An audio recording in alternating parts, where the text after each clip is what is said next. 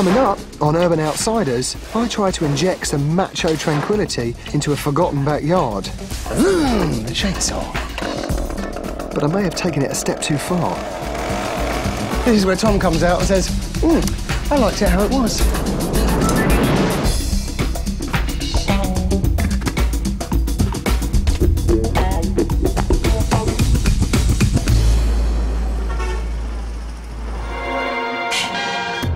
Living in the city can be hectic, noisy and stressful. Grey and often a little soulless, they're a concrete jungle. But it doesn't need to be that way. I'm the UK city gardener Matt James, and I'm on a mission to bring a bit of green tranquility into the lives of urban Americans.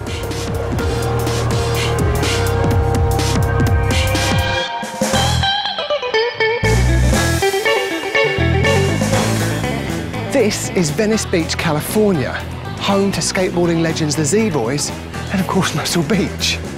It's a bohemian outpost of sprawling LA with these marvellous canals. It's got a true taste of Italy. I'm here to tackle the backyard of a laid-back bachelor whose space is just an urban wasteland. And I'm hoping to turn it into a, into a space where you can kind of just chill and relax and let the mellow vibes of this hip community wash over him like the surf on the famous beach.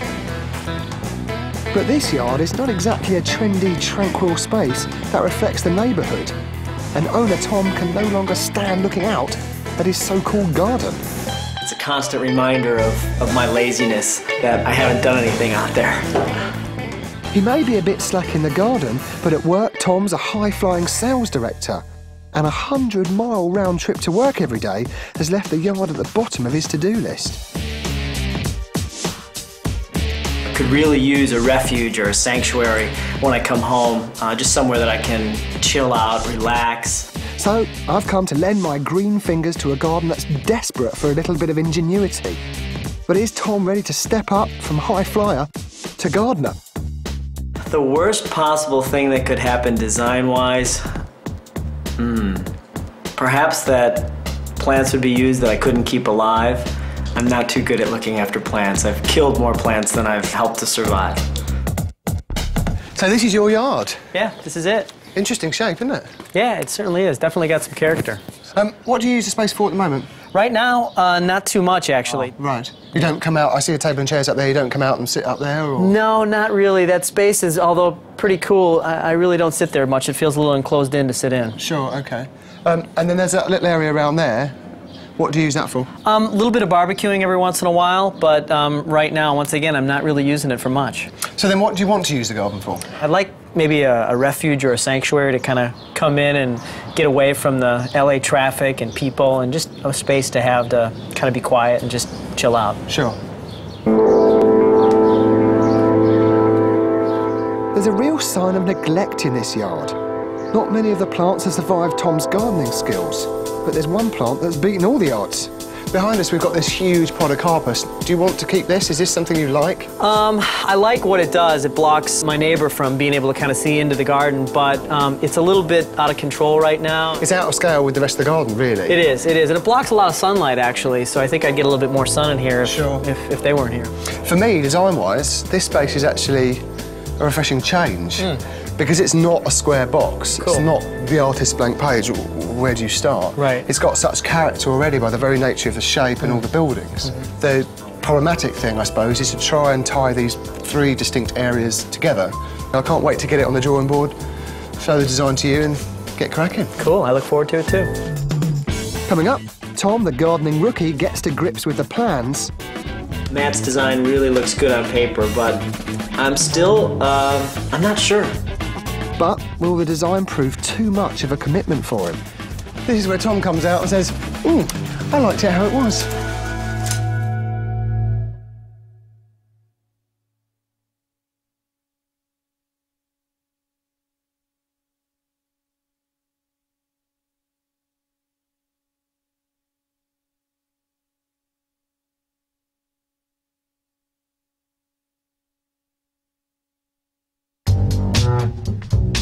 Busy Tom is a successful sales director. Long daily commutes from Venice, to the hub of LA's business world, have left very little time for any progress in his backyard. a space he desperately wants to put to use. I'm not too good at looking after plants. I've killed more plants than I've helped to survive. His plant knowledge is also very limited. So, with my design, I'm hoping to inject some enthusiasm so that Tom can not only enjoy the garden, but look after it too. I had some time to think about these bushes, and I, I definitely think I'd, I'd like them to go, um, but I'm still a little concerned about the privacy issue. Um, Sure, you don't need to bow 20 foot high. Right. So we use some new reed screens Okay. um, to provide privacy up to about five and a half, six foot. Right. But then planting to then sort of grow up and provide some privacy up high. Okay. The three currently disjointed areas are going to be drawn together within a regular stone path. And the focus of the design is a flexible seating area. One corner will house built-in seating and a fire pit, and the other a dedicated barbecue space, a man's real chill-out zone. It's quite straightforward, it's quite restrained, and it's quite simple. And I think that's what suits this space the best. Beautiful. I really like those ideas. Cool. I'm glad you said that. I'm really glad you said that. So, the first task is to start clearing the space. But seeing all those dead plants being removed has made Tom a little nervous. You me in suspense. I'm waiting for deliverance. Matt's design really looks good on paper, but I'm still, um, I'm not sure. I'm worried about keeping the garden alive. I'd really like the garden to last for a few years. I plan on staying here, so um, I'm hoping that he's going to use plants that I can, I can kind of nurture. Although it seems a bit drastic, this hedge has completely taken over this side of the garden. So, out it comes. It has been doing a great job of blocking out the neighbours, but also a lot of light. Let's hope Tom's with me on this one. Of course, the old handsaw is all right for the small ones, but when it comes to those big ones, need to pull out the bad boy. Vroom, the chainsaw.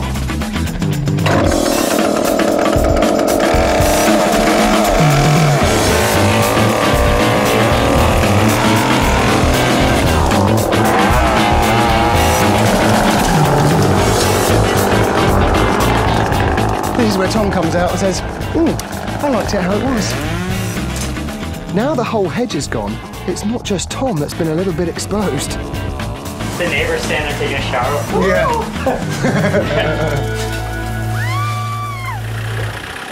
The arrival of the stone gives us a timely distraction, and it's starting to give Tom a real flavour of what's to come.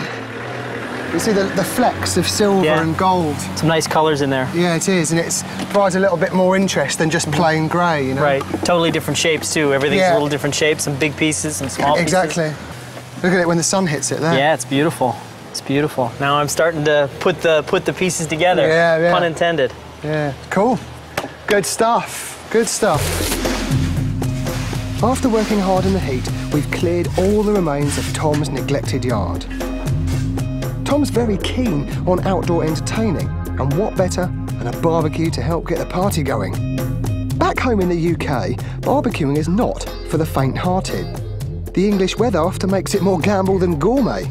But over here, grilling is practically a national sport. Having a built-in Barbie is fine in a big yard, but in a small space like Tom's, portable means practical. Taken well, the middle ground when choosing one for Tom. It won't dominate the space, but it's going to be big enough to impress his buddies. Another day begins, and with the yard clear, you can see what a challenging shape it is. Time to draw those awkward corners together and get that paving down. It's a good job we brought in the experts. And while they're steaming ahead, Tom is keen to know about the plants he's going to be looking after.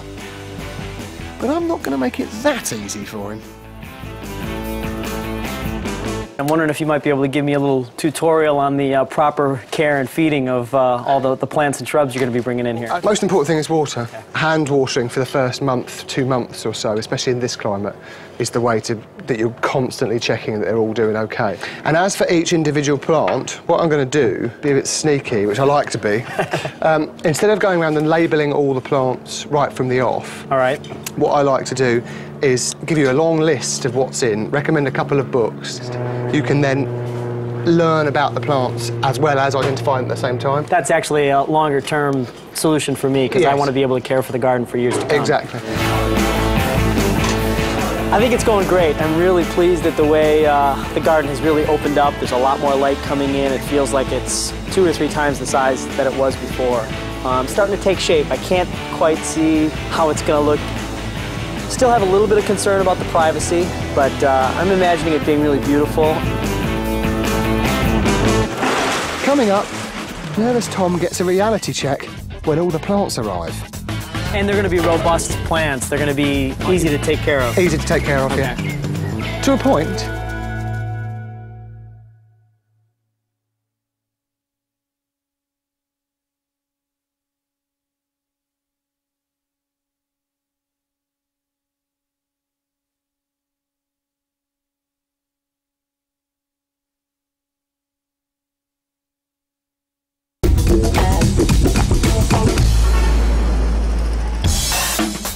A new day in Venice Beach, and it's going to be a busy one in Tom's backyard.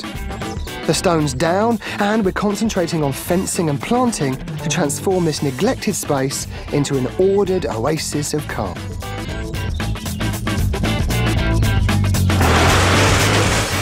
The plants have finally arrived. As well as adjusting to foreign plant varieties, being a young lad from the UK, I'm also coping with a bit of a language barrier. I've got a great team with me, but they're mostly Spanish speaking.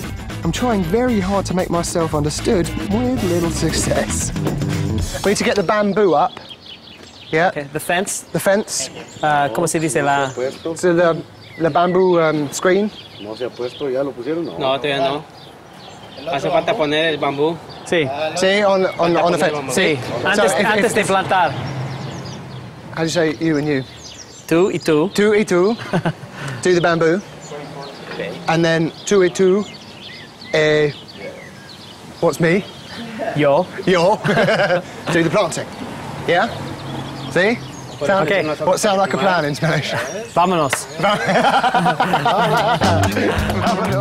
I think Tom's diplomatic skills are more polished than my Spanish.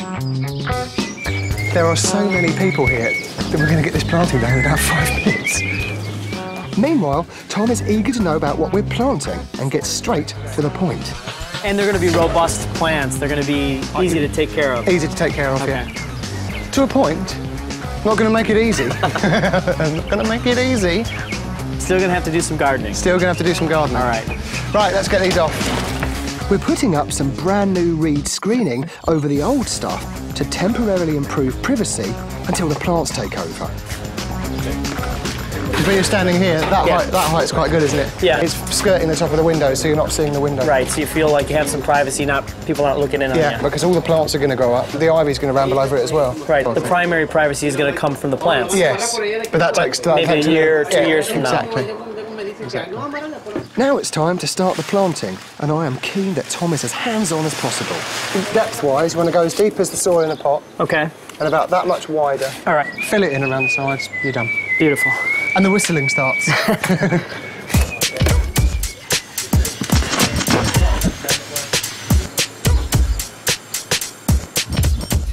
Look okay? Looks good. Let's um, do this. Okay, so just a light tap down. Yeah, not elephants, but similarly, you want to feel as though there's actually soil around it. Okay, And on big pots, I often then go in now, you see. Okay. And just lightly use my heel. And then we need to get the big boys in. See? What's the focal point going to be of the garden? What do you Well, the focal point is the table and chairs, gonna because be- in a garden of this size, you can't get over that. Right, And then also the bench at the back with a fire pit. okay, Simple as that. all right, If we're sitting here, I'll link that area, and it'll link that area. okay. And that area is already starting to look cool, isn't it? It is very cool. We were talking about putting a sprinkler in that corner. You think we should have one in, in all three corners? Our, our irrigation expert. What do you think, Leonardo? ¿Tres o uno? ¿Tres? Tres. Tres. Claro que sí. See? Sí. I've um, never seen pointing like this before. We don't do this in the UK at all. We use sort of semi-dry sand cement and pack it in. I've never seen it. It's like making a big cake, Luis. A big wedding cake. And so quick as well. So quick. A wipe with a sponge, and it's sorted. I'm not really sure what I'm planting. It's some type of grass, some type of colored, colored desert grass, but I'm focusing more on how to plant it as opposed to what I'm planting, getting the right depth so I don't kill it before it gets started. It's a lot richer than I expected it to be. A lot more plants than I thought could ever possibly fit in here without looking cluttered, and it doesn't look cluttered at all. I'm really excited to see the finished product and, and to see the garden grow. Cool. That's a good day. Yeah, busy Done a lot, done a lot in the garden. Yeah, a lot, lot, lot accomplished today. A lot more than I thought we could in one day. Two thirds of the plants in, good third tomorrow, Okay, and we're done. great. I'm excited. Yeah, so am I. I'm uh, definitely gonna have to do my homework and making sure I keep this garden growing. Um, so yeah, it's beautiful. I'm, I'm, I'm humbled actually. You know, I'm really chuffed that Tom's taking ownership of this project. And the fact that everybody's working really hard on top of each other in such a confined space. But after everyone's gone home, I discover a bit of a problem. Oh, you've got a problem. Um, my benches have arrived. Now, I was going to make them out of these sleepers, and they're supposed to be untreated, but this lot are absolutely full of tar. And you can just see here just how much preservative has been impregnated into the wood. Um, now, obviously, you can't sit on this because you'll just be getting this all over your clothes. Just a, just a bit of a kick in the teeth. Um, so I'm going to have to go to plan B, which is a lot more work. So, as the sun sets, all the hard landscaping is complete, and tomorrow we're going to put the finishing touches to the planting. And if my carpentry skills are up to scratch, we'll have some seating too. Fingers crossed. Coming up, will this new garden be a blessing or a burden for gardening rookie Tom? Now, some of these are going to die.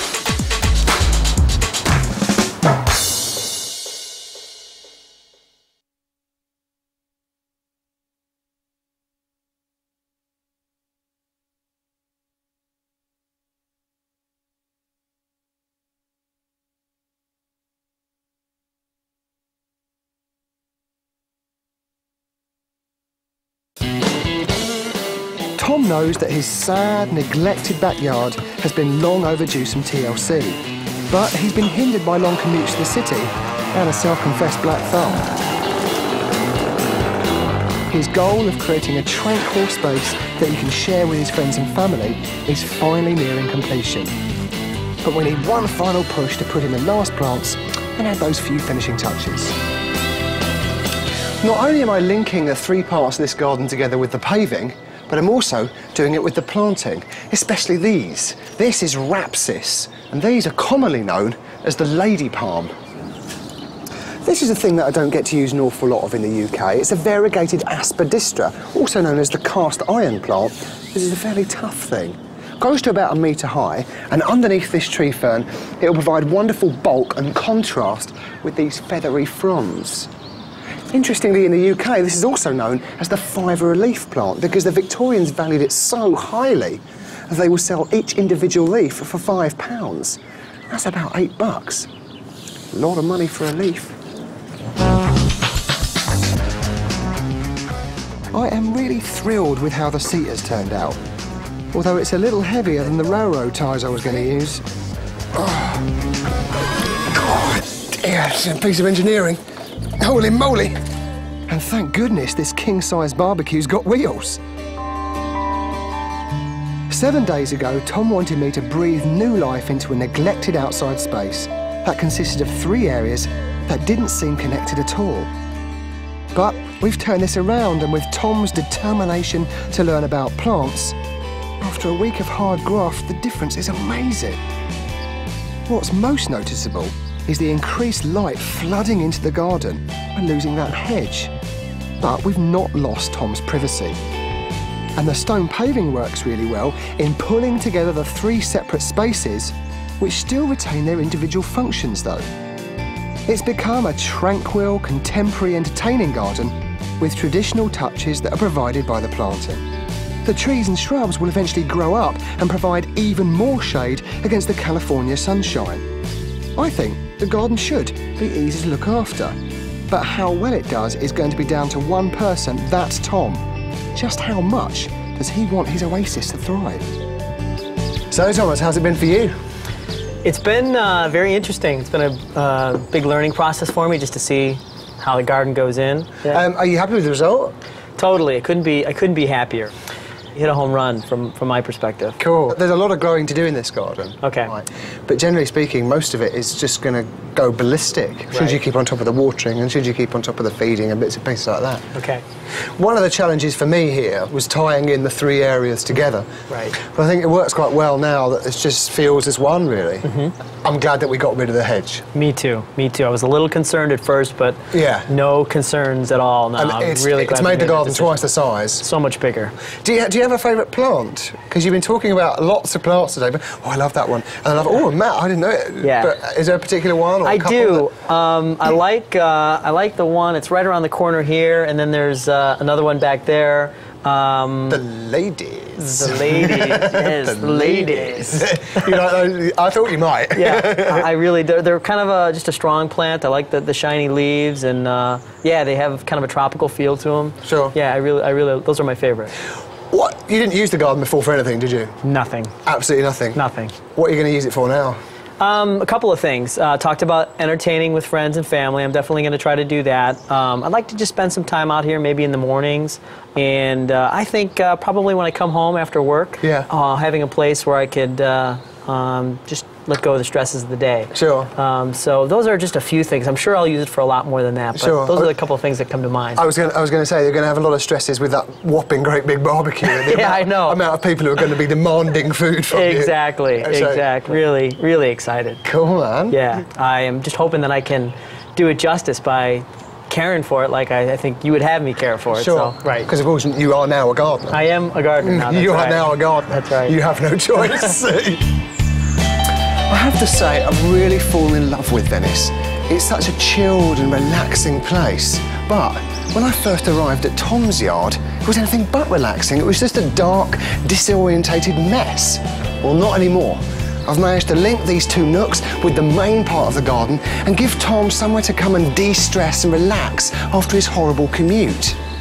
And of course, where better to do that than his own private hideaway?